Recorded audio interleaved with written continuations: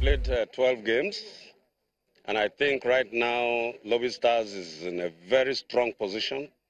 uh, not just to play throughout the league, but also to pick the trophy and perhaps even push them on, onto, the, onto the continental. And all that we need now is to give adequate motivation and support to the team. And indeed, a message of solidarity from the people of Benue State